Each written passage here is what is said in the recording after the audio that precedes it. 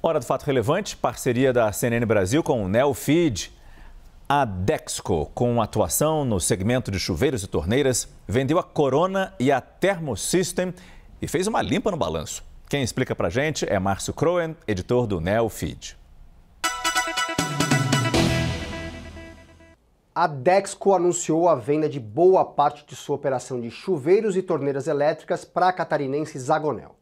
A empresa controlada pela Itaúsa está se desfazendo de marcas como a Corona e Thermosystem, uma fábrica em Aracaju com capacidade de produção de aproximadamente 12 milhões de peças anuais e dois centros de distribuição, um em Aracaju e outro na cidade catarinense de Tubarão. O valor da transação não foi divulgado.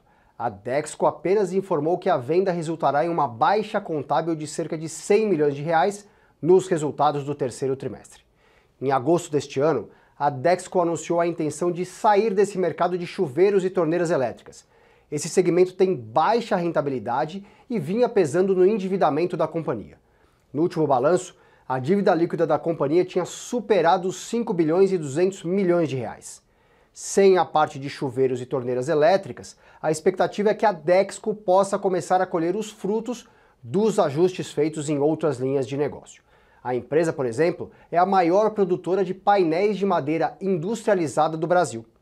A ação da Dexco, que abriu o pregão em alta, fechou o dia na Bolsa de Valores praticamente em estabilidade. Esse foi o Fato Relevante, uma parceria entre a CNN Brasil e o Neofeed. Até o próximo. O conteúdo Neofeed também está disponível no site da CNN Brasil.